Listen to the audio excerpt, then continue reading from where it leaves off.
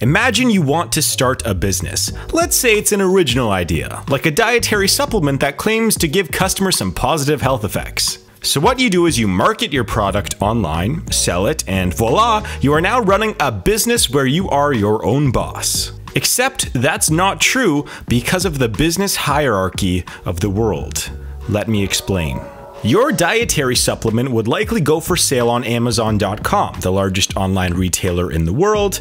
This is because you want your product to be on a website that would get you tons of exposure and is also a trusted website by most consumers, therefore, hopefully, resulting in more sales than if you were to sell it on your own website. But to sell a product on Amazon, you need to get approved as a seller, and Amazon takes several fees from you as a seller so that they can make money as well. This relationship usually works well for both Amazon, yourself, and the consumer. Amazon makes a little bit of money, you make some more money, and the consumer gets the product they want within two days. However, this also means that Amazon now controls what happens to your business. I mean, if they wanted to, they could straight up just ban your seller account or triple their seller fees overnight, and all of a sudden your business venture could be over like that. Even though these things rarely happen at Amazon, what does happen often is they actually just copy your product, put their own label over it, and name it Amazon's Choice, and all of a sudden, your product is now too expensive and of a lesser quality than Amazon's version of your product. So, Amazon has the power to make or break your online dietary supplement business. But even Amazon, the trillion dollar company,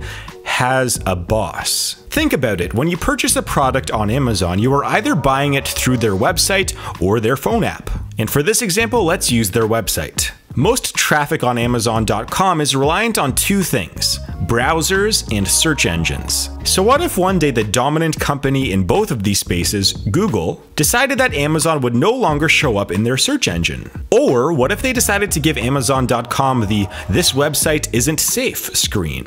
In a sense, browser and search companies can control nearly every website on the internet. But yes, even browsers and search engines are also dependent on something else operating systems. Operating systems can flat out dictate what is and isn't available on their platforms because of how they are programmed. That's why for decades, Mac OS had different programs, video games, and applications than on Windows or even Linux. And what can also happen is when an operating system updates, sometimes a program that you have used forever will become incompatible with the newest update of an OS. But the most common form of an operating system dictating on what is allowed on their platform occurs on mobile operating systems. On mobile operating systems, certain applications will flat out be banned, and you will be unable to download and install them, even if their software is compatible with the operating system itself. So technically, operating systems control all the software that is on your computer, including web browsers. And that makes you think,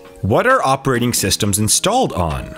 Devices. Things like smartphones, laptops, desktops, and tablets are arguably the top point of control in our modern economy. Let's take a look at the top four most valuable companies in the world. Microsoft, Apple, Amazon, and Google. What do they all have in common? Well, they all have tried their very, very best to own the physical devices market, specifically the smartphone. That's because they know that owning the most popular device in the world that connects you to the internet is the ultimate source of control. Or it was. You see, software companies like Facebook and Google didn't like how the physical device companies had complete control over them. So what did they start doing?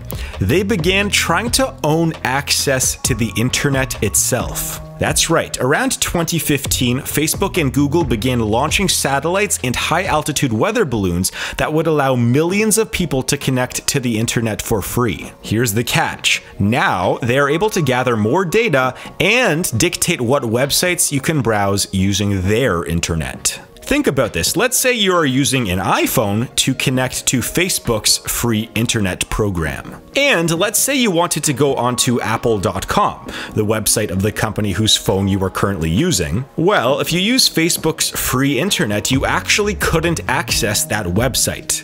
Because Facebook gets to choose what websites are and are not available through their internet. And the current list of websites you can access right now is only about 25 items long. And to no one's surprise, Facebook is the default website, while competitor tech companies' websites like Google, YouTube, Twitter, Apple, Netflix, and Amazon are nowhere to be seen on this list. So, the next frontier of control might actually be giving away free internet to the entire world, and who knows? If Facebook, Google, or another tech company succeeds in this free internet venture, we might see the biggest gatekeeper of business the world has ever seen. And that is how just a few companies control every other online business on this planet. Thank you very much for watching. Please subscribe to this channel as I am making weekly business documentaries like this. And if you're interested in my next business venture, please check out my gaming channel in the link below, where I'm currently programming an RPG game which will be available on PlayStation,